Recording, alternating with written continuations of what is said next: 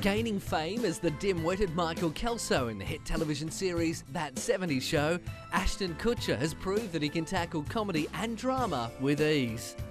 He starred in several comedy films that performed well at the box office, including Dude, Where's My Car and 2005's Guess Who. In 2003, Ashton paired up with Brittany Murphy for the feature film Just Married. The two, who were romantically linked during publicity for the movie, played a newlywed couple in the romantic comedy. The film stayed in the number one spot for four weeks and was a hit with the audiences.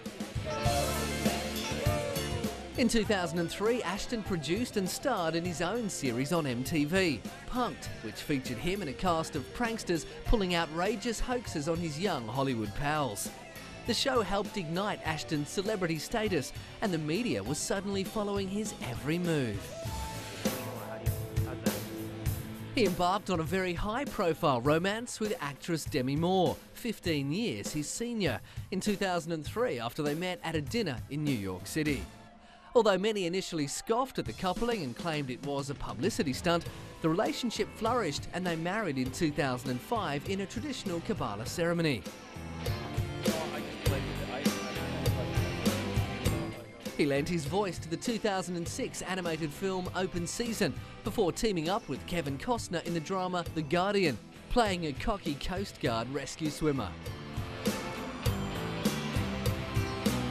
With dramatic roles in films like The Butterfly Effect and Bobby, Ashton Kutcher seems to be doing more to broaden his Hollywood horizons and not just be known for his comedic talents.